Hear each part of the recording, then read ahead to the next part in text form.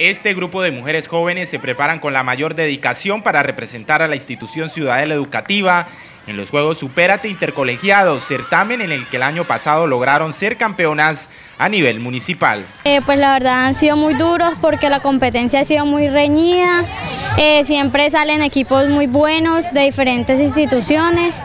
Eh, con, con la ayuda de Dios el año pasado pues pudimos pasar la parte zonal departamental y la departamental. Pues por ahora vamos con los entrenamientos, nos estamos esforzando muchísimo para sacar una, un buen puntaje para los intercolegiados de, que van a ser aquí ahorita en el colegio. Y el año pasado participamos y quedamos campeonas aquí, nos fuimos a jugar a, a Mogotes, quedamos campeonas y pues alcanzamos a llegar a, a Villavicencio a la fase departamental y pues no pudimos, pero este año con ayuda de Dios se va a poder. El apoyo de Inderma en la construcción de las bases sólidas de estos equipos se debe también al apoyo de los directivos técnicos que acompañan este proceso. Estamos en eso, estamos conformando tres equipos femeninos en Ciudad Educativa, dos en la rama juvenil y dos en, la categoría eh, prejuvenil.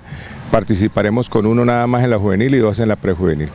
Estamos buscando en estos momentos finiquitar las 22 jugadoras que van a participar, haciendo una preparación más que todo física y en la parte táctica. Eh, empezaremos más o menos en 15 días ya a buscar lo que el equipo va a jugar. Trabajo día a día seguirán realizando este grupo de estudiantes que ven una oportunidad en el fútbol como posibilidad de algún día ser jugadoras profesionales.